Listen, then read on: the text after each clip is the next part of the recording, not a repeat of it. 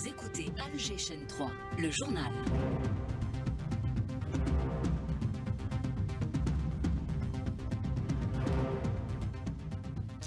Walid Selman, bonjour. Bonjour Soraya, mesdames, messieurs, bonjour et soyez les bienvenus dans cette nouvelle édition. Au sommaire de la matinale de ce mardi 23 janvier, le président de la République reçoit le ministre saoudien de l'Intérieur, l'émir Abdelaziz Ben Ben Abdelaziz Al Saoud. Autre audience accordée, euh, celle accordée par le président de la République euh, au président de l'Assemblée nationale mauritanienne. Chargé par le président de la République, le ministre des Affaires étrangères et de la communauté nationale à l'étranger, Ahmed Attaf, est à New York pour prendre part à une réunion aujourd'hui de haut niveau du Conseil de sécurité sur la question palestinienne. Fin des travaux du sommet du G77 plus Chine à Kampala, à l'issue duquel les dirigeants du Sud réaffirment leurs engagements total envers la charte d'Alger.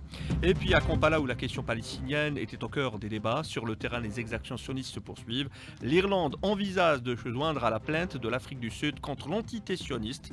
Sur le terrain, 10 soldats sionistes ont été tués hier à Raza.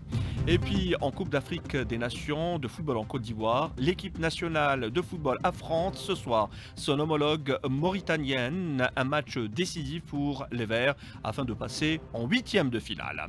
Et la Fédération congolaise de football qui publie un message d'indignation après les attaques racistes contre le joueur Mbamba tenu par le sélectionneur marocain après le match nul et opposé les deux équipes avant-hier.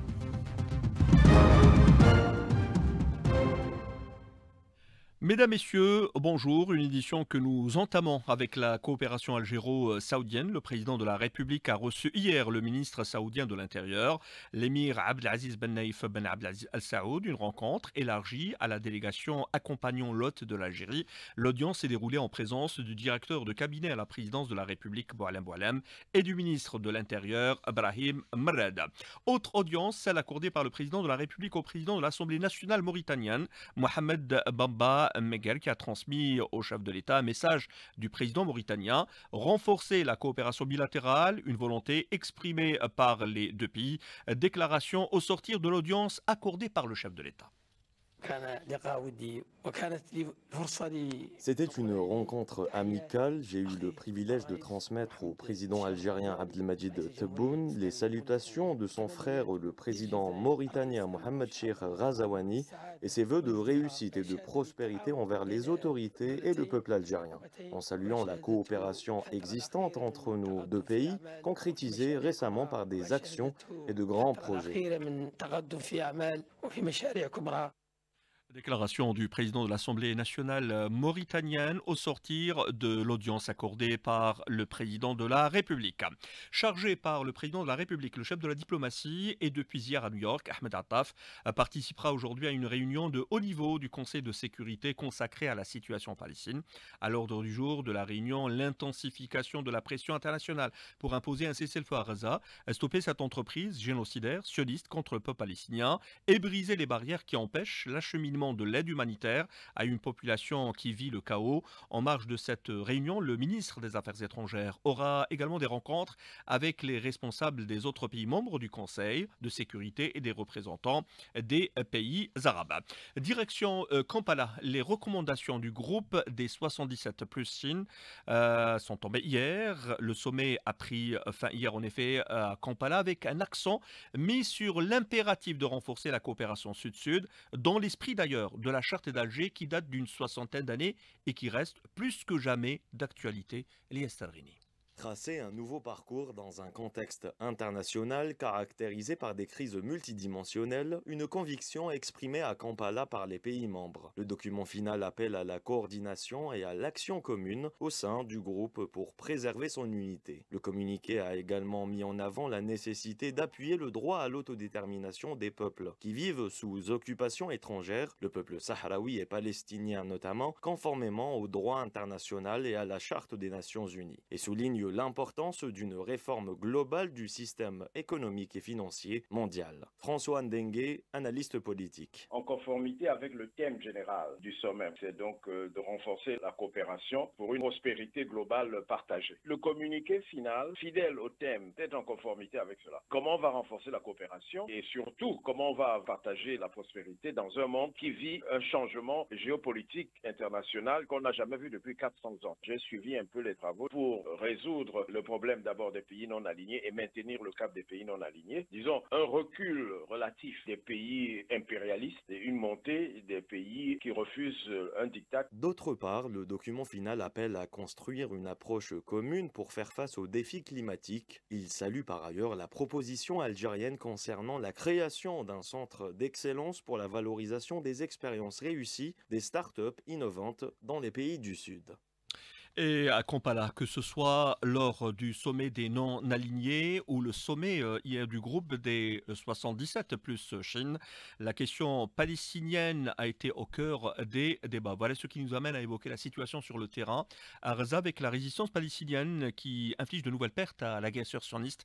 L'armée sioniste qui annonce ce matin que 10 soldats ont été tués euh, hier dans l'enclave palestinienne. Toutefois, l'entreprise génocidaire sioniste poursuit à Khan dans le nord de la bande. Les hôpitaux Al-Amal Nasser sont ciblés. La cour de l'hôpital Nasser rappelle le scénario vécu par l'hôpital Eshifa. Elle se transforme en cimetière euh, pour les martyrs palestiniens. L'armée sioniste qui bombarde sans répit euh, d'ailleurs à Deir el-Balah au centre de la bande de Gaza alors que des bombes au phosphore sont lancées encore une fois sur le nord de l'enclave palestinienne. La Cisjordanie occupée n'est pas épargnée. Jinin, euh, un jeune de 17 ans, est tombé en martyr hier, ciblé par les balles sionistes. Par ailleurs, le vice-ministre, premier ministre irlandais et ministre des Affaires étrangères, Michael Martin, a indiqué que son pays envisageait de se joindre à la plainte de l'Afrique du Sud devant la Cour internationale de justice euh, contre l'entité sioniste pour crime de génocide qu'elle commet Gaza. Le responsable irlandais a déclaré qu'il avait l'intention de prendre des mesures au niveau de l'Union européenne dans le but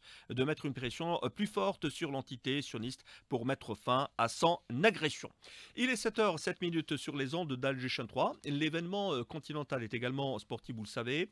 Direction la Côte d'Ivoire pour parler de la Coupe d'Afrique des Nations de football et les Verts qui n'ont pas le droit à l'erreur ce soir. Une rencontre décisive. Ils affrontent la Mauritanie à 21h. Une victoire est impérative pour la suite de la compétition s'ils veulent rester de la course. Pour Jamel Belmadi, il est impératif de gagner. Il animait hier une conférence de presse d'avant-match.